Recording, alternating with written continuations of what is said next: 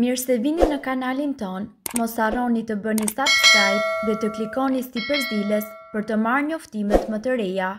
Faleminderit! Keni urinim të shpeshtë dhe nuk po gjeni zgjidhje, ja si ta trajtoni pa shkuar tek mjeku. Një person me fshikëz tepër aktive e njeh ndjenjën e panikut apo nevojës urgjente për të shkuar në tualet. Ndonjëherë kjo thirrje është aq e madhe sa një person ka një humbje të pavullnetshme të urinës. Herë të tjera, një fshikëz e mbushur është pengesë për gjumin e një personi ose jetën e përditshme.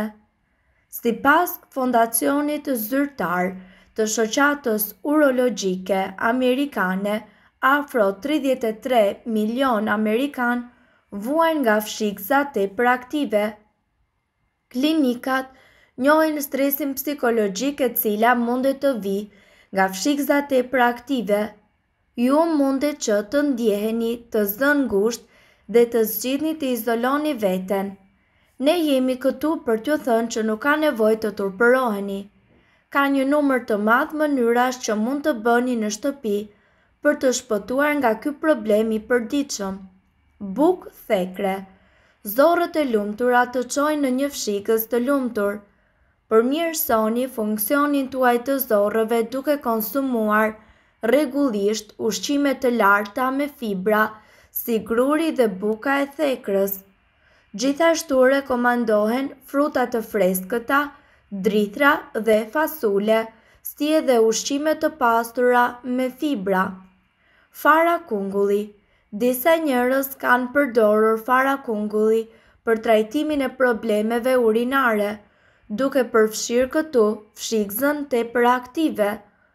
Funksionon sepse farat rrisin prodhimin e testosteronit dhe kështu forcojnë muskujt e legenit. Banane, Ushqimet me magnez të lartë si banane, misër dhe patate munden që të ndihmojnë në reduktimin e spazmave të muskujve. Magnezi është gjithashtu i rëndësishëm në inkurajimin e fshikëzës tuaj që të zbrazet plotësisht dhe kështu parandalon urinimin e shpeshtë. Qumështi, Vitamina D e cila gjendet në qumësht, peshk dhe vezë zvogëlon rrezikun e mosmbajtjes.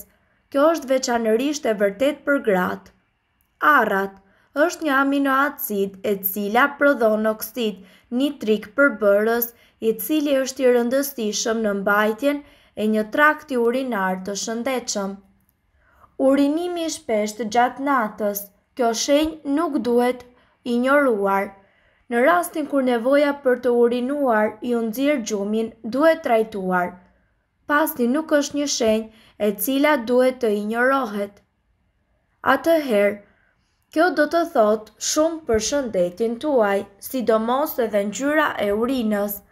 Rreth një në tre të rritur mbi moshën tridhjetë vjeç thonë se duhet të ngrihen në mes të natës për të urinuar dhe kjo rritet në dy të tretat e të rriturve mbi moshën gjashtëdhjetë e pesë vjeçare. Gjendja quhet nokturia dhe ata që vuajnë nga kjo, shpesh duhet të përdorin tualetin të paktën më shumë se një herë në natë. Nuk është vetëm shqetësimi se duhet të çohesh nga shtrati, por gjumi i ndërprerë është i lidhur me një rrezik në rritje të diabetit, sistemeve të dobësuara të imunitetit, sëmundjeve të zemrës dhe madje dhe disa sëmundjeve të këqija. Ajo gjithashtu mundet që të shkaktojë probleme të shëndetit mendor, të tilla si ankthi, depresioni dhe psikoza. Flet eksperti profesor i urologjisë Philip Van po i paralajmëron njerëzit që të shikojnë për shenjat e nokturjas për hir të shëndetit të tyre. Ai thotë, Njerëzit mendojnë se ngritja gjatë natës për të shkuar në tualet është vetëm pjesë e rritjes, por nuk duhet të jetë. Gjumi i dobët mundet që të dëmtojë seriozisht shëndetin tuaj, kështu që njerëzit që po ngrihen disa herë në natë duhet që të shkojnë tek mjeku i tyre për të parë se çfarë po e shkakton këtë. Lajmi i mirë është se nokturia mundet të trajtohet kështu që ju nuk keni nevojë që të vuani në heshtje. Një gjumë nate i ndërprerë mund të ketë një ndikim të gjerë në shëndetin tonë fizik dhe po ashtu edhe mendor. Produktiviteti, marrëdhëniet dhe suksesi i karrierës munden të ndikojnë. Profesori, redaktor i Qendrës Kërkimore, tha se mungesa e gjumit mundet të ndikojë në të gjitha format e funksionimit mendor, duke e bërë shumë më të vështirë të përqendrohesh, të kujtosh gjërat dhe të marrësh aftësi apo fakte të reja. Shenjat, Jo vetëm që mungesa e gjumit mund të shkaktojë sëmundje. Urinimi gjatë natës mund të jetë gjithashtu një shenjë e tyre. Kjo mundet të shkaktohet nga mbiprodhimi i urinës, që mund të jetë simptomë për kushte më serioze. Urinimi i tepruar, i quajtur poliuria, është kur ju shkarkoni më shumë se dy pikë pesë litra në ditë. Kjo mund të ndodhë sepse jeni duke pirë sasi të tepërta të lëngjeve ose mund të jetë simptomë e diçkaje shumë serioze, si për shembull diabeti i tipit dy. Ajo gjithashtu mund të jetë një shenjë e një infeksioni të fshikëzës, gurëve të veshkave, dështim të veshkave dhe prostatës të zgjeruar tek meshkujt.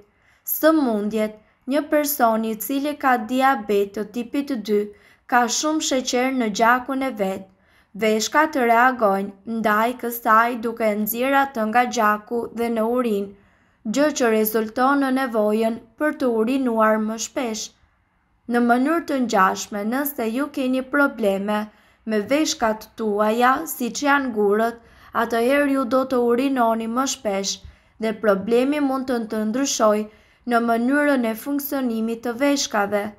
Nëse mendoni se urinoni më shumë se ç'është normale dhe filloni dhe vuani nga dhimbja e shpinës, humbja e peshës, djersitja natën, dobësia e këmbëve ose etheve, Ju duhet që të takoheni me mjekun tuaj sa më shpejt aq edhe më mirë.